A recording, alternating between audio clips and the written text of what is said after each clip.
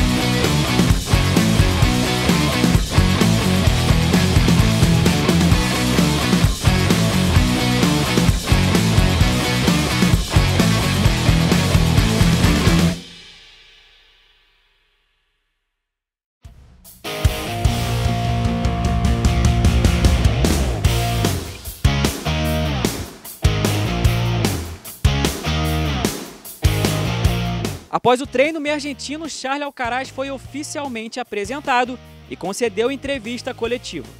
Ele é um dos quatro reforços contratados pelo Flamengo na mais recente janela de transferências.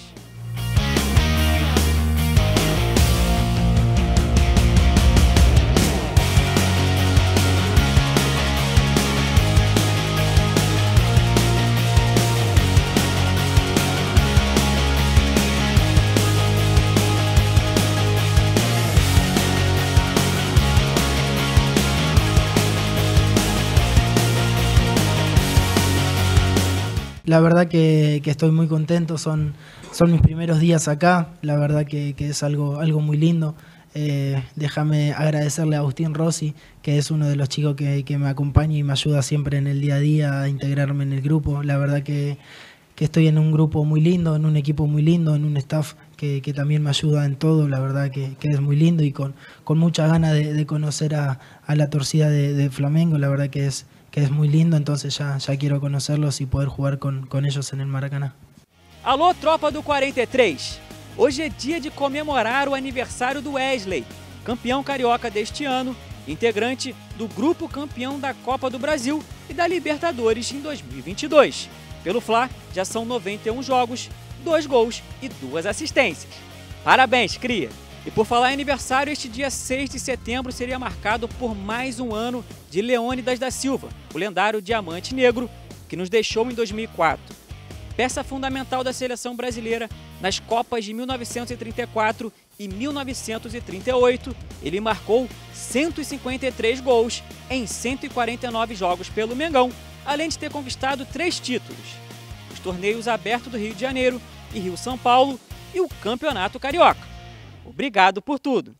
O próximo treino do Flamengo será realizado na manhã deste sábado. E anota aí, na próxima segunda-feira, dia 9 de setembro, será a vez do atacante equatoriano Gonzalo Plata ser apresentado oficialmente aqui no Nindurubu, tudo acompanhado ao vivaço pela Flá TV. Como sempre, Flá TV é mais Flamengo para você.